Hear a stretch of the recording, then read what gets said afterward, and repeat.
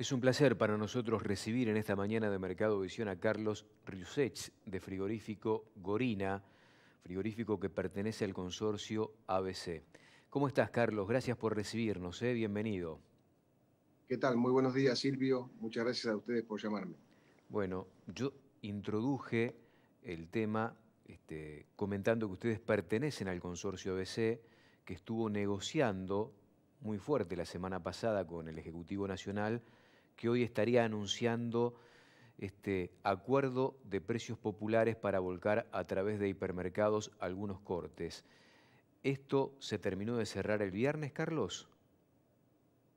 Yo diría que esto está muy avanzado, faltaba algún detalle menor en lo que se refiere a algún corte y luego está todo el tema de la logística que se está tratando de coordinar con toda la cadena de supermercados es un programa muy vasto, muy amplio y requiere de determinada programación, pero está todo en los últimos detalles. ¿Cuántos cortes aproximadamente? Porque allí había dificultades para cerrar el acuerdo. El gobierno en algún momento pretendía 12 cortes, después 10. Eh, yo tengo entendido que la industria decía, bueno, tres cortes. Finalmente, ¿de cuántos cortes se hablan? Lo que sucede es que el, el número de cortes es un corte relativo. Nosotros generalmente partimos de la base de 17 cortes para la media res. Hay quien puede decir alguno más, hay quien puede decir alguno menos. Eh, entonces, cuando uno hablaba de 12, hay que ver también en términos, por eso decíamos, cualitativos, de qué cortes estamos hablando. Eh, en la actualidad, lo más probable es que estemos cerrando en torno a los 8 cortes. ¿Este sería un acuerdo anual a revisar trimestralmente en materia de precios? Este, ¿cómo, ¿Cómo se definiría esta cuestión? Es un acuerdo que involucra a muchos sectores, porque además de nosotros está toda la cadena de distribución, todo el tema de los supermercados, con lo cual hay una primera etapa perfectamente definida que creemos que abarcaría hasta fines de marzo. En principio hasta fines de... Por supuesto, a, partir de allí se revisaría, se revisaría el funcionamiento y calculo que se harán los ajustes como para que el programa continúe. ¿Se habló de volúmenes mensuales? Se está definiendo porque aparentemente eh, la pretensión de las autoridades es que participen todos los exportadores, no solamente el consorcio ABC. El resto de los exportadores, claro. ¿Y los precios eh, se retrotraerían para algunos cortes a los precios que se pagaban antes de las fiestas de fin de año? Yo creo que los precios van a ser muy accesibles. no, no puedo asegurar exactamente que el nivel sea el anterior a las, a fiestas de fin de año, pero son precios muy accesibles, como lo va a reflejar, por ejemplo, calculo el precio del asado, que es un precio eh, estandarte, por llamarle de alguna forma. Claro, que hoy en las carnicerías tendremos un promedio cercano a los 600 pesos, por ahí un poquito por debajo. Este, esto estaría, me imagino, bastante por debajo de eso, ¿no? Sí, seguro que va a ser notoria la diferencia de precio respecto del, del que vos estás señalando, Silvia. Carlos, está claro que la industria exportadora ha ido perdiendo competitividad, entre otras cosas porque también hubo un incremento en el precio de la materia prima. Y se había hablado en algún momento de la posibilidad de bajar retenciones, cosa que no se dio. Se esperaba esto para fin de año. ¿Se está trabajando en este sentido también? Nosotros tenemos varias solicitudes que, son permanentes respecto a lo que sería un programa de, de avanzar en el sentido de consolidar la industria y consolidar los buenos años de exportaciones que se vienen registrando. Eh, no olvidemos que venimos de un año 2019 con 840.000 toneladas, un año 2020 con 920.000 y además el mercado está abastecido y el consumo de carnes está en alrededor de 50 kilos, el consumo total de proteínas en más de 100, que es algo que, que toda la audiencia conoce. Con lo cual la verdad que nosotros somos eh, como decíamos, eh, optimista respecto de continuar con esta programación. ¿La industria ha hecho esfuerzos, ha hecho inversiones en estos últimos años para sostener este nivel de exportaciones y poder inclusive pensar en un incremento cuantitativo en el corto y en el mediano plazo, Carlos? Sí, como te señalaba recién, todo forma parte de un programa. Nada es una medida unilateral ni individual todo forma parte de un programa Y en ese sentido nosotros creemos que la industria puede, y Argentina, no la industria, sino que Argentina, la cadena, porque acá se precisa de todos los actores, no se puede hablar de un solo eslabón de la cadena. Y si todos los actores trabajan en pos de ello, creemos que en un programa serio se puede hablar de un millón y medio de toneladas en alrededor de cuatro o cinco años. Hay que sentarse, hay que programarlo. Eh, avisoramos un millón doscientas mil toneladas como primer eh, recorrido, no estamos tan lejos dentro de los próximos tres años. Y para eso, por supuesto, solicitamos competitividad a través de, los elementos que se cuentan. Uno puede ser retenciones, otro puede ser orientarnos hacia una modernización del consumo, eh, en lo que se refiere a avanzar con temas como el cuarteo, y otro es trabajar en los canales de, de, otorgarle formalidad y seriedad a toda la cadena. Falta mucho en este último aspecto porque ustedes, el consorcio ABC, viene haciendo este, ingentes esfuerzos para tratar de transparentar al resto de la cadena. ¿Se ha hecho algo en los últimos años? Eh, ¿Se recoge el problema de parte del Estado y se trabaja en función de eso o estamos lejos? Eh, cuesta el análisis cuando la, la, pandemia y el tema de la enfermedad, nosotros hemos continuado trabajando en forma normal porque somos esenciales, pero sin lugar a duda que esto ha afectado a la vida de la, de, la, economía y a la vida del sector y a la vida de nuestro país. Y, todo esto ha retrasado tal vez o ha demorado o ha diferido porque cambian las prioridades. Yo creo que es claro que, las prioridades cambian con una enfermedad semejante a la que estamos atravesando.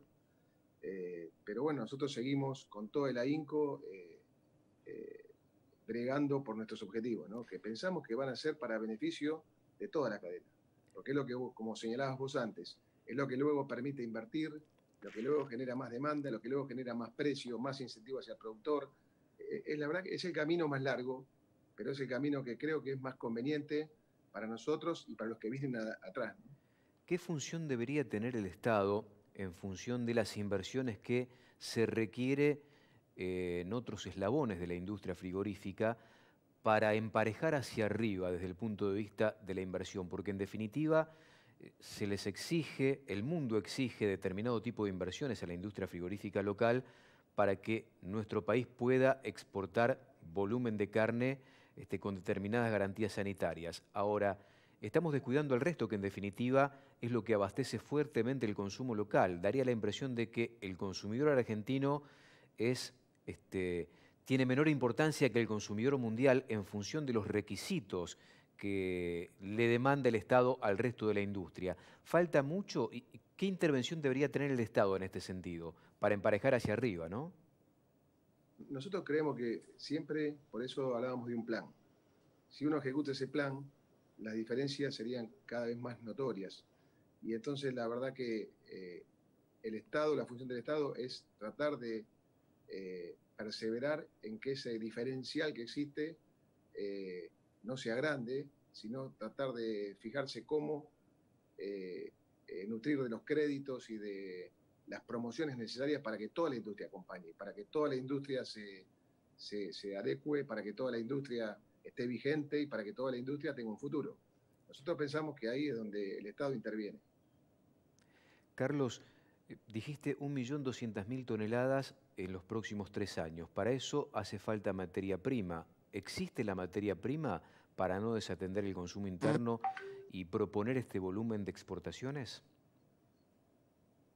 Nosotros creemos que, que hay, un proceso iniciado. Eh, nuestro sector no escapa a las reglas generales también de la economía. En este momento, eh, vos lo decías recién cuando yo escuchaba previo a la nota, el tema de la conversión de los granos, el maíz. Eh, entonces se, alteró un poco el proceso normal porque en alguna medida eh, los diferentes componentes pasan a ser reserva de valor.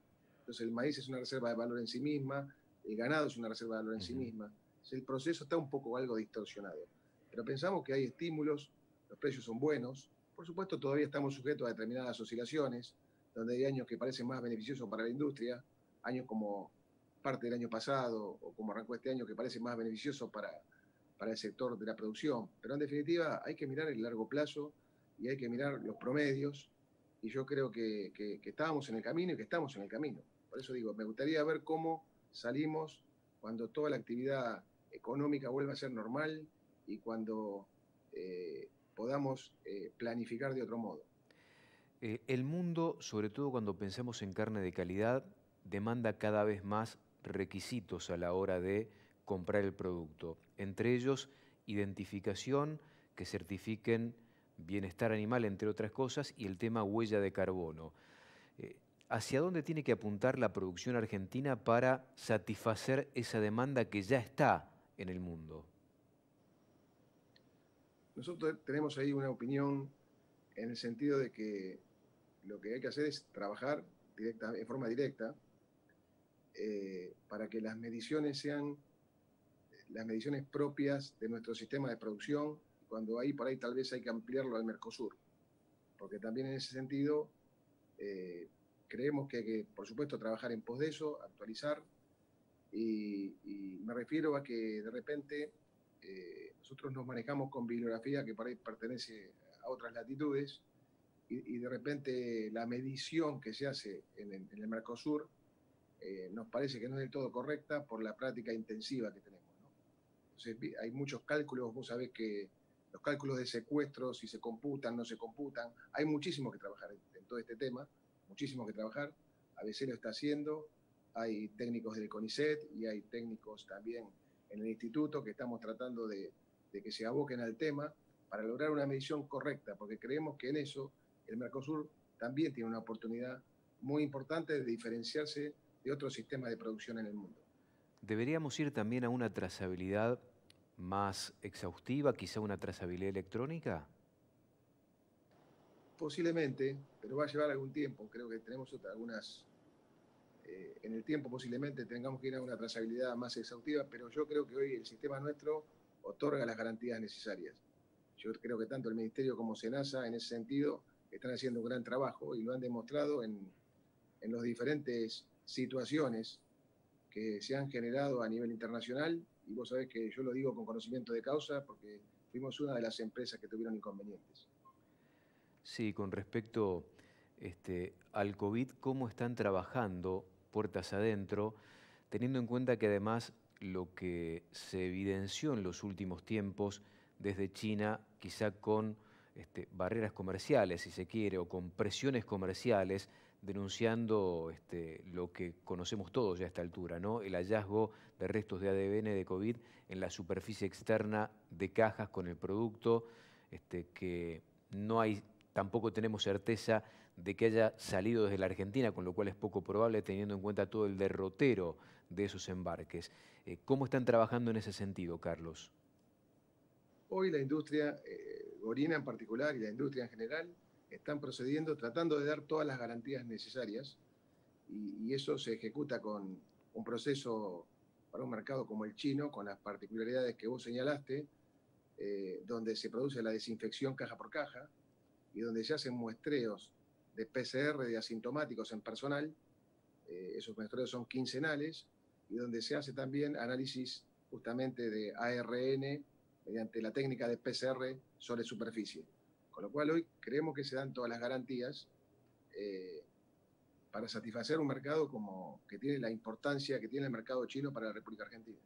¿Qué otros mercados aparecen, surgen como atractivos, teniendo en cuenta que cuando hablamos de mercados de calidad, Europa por la pandemia se ha mesetado y se ha restringido en cuanto a la demanda? ¿Qué surge hoy este, a mediano plazo como mercados interesantes como para explorar e intensificar las negociaciones?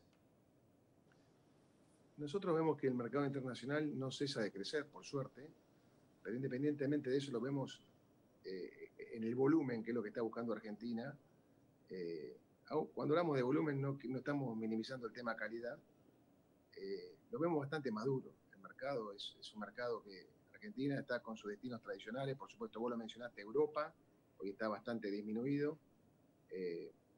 Estamos lentamente consolidando el pie en Estados Unidos, despacio, pero estamos en Estados Unidos. Por supuesto los mercados tradicionales como Israel, Chile, Rusia, no tienen que ser minimizados. Y yo creo que Argentina eh, no, no, estoy nombrando China porque ya lo habíamos nombrado antes, pero en definitiva creo que eh, nuestro gran volumen pasa por ahí. Nuestro gran volumen pasa por ahí y creo que va a haber que seguir desarrollándolo. Y luego, por supuesto, hay nichos eh, de poder adquisitivo de, de, extrema calidad, donde hay algunos países del, del sudeste asiático, como de repente puede ser Indonesia o puede ser eh, Singapur, eh, que tienen algunas demandas de calidad, algunos para los cuales todavía Argentina estamos tratando de acordar eh, los protocolos sanitarios. Y en este sentido, la función del Estado es importante y fundamental. ¿Acompaña esta necesidad de la industria y de todo el sector, en definitiva, como para establecer esos convenios donde el tema arancelario también es un tema fundamental que debe ser negociado por el Estado? Nosotros, sinceramente, nos sentimos acompañados. Me refiero a los organismos que nos tienen que acompañar, que son el Ministerio de Agricultura, que es el SENASA, que son los organismos Cancillería, cuando le toca participar en, determinadas circunstancias internacionales. La verdad que hemos tenido respuesta.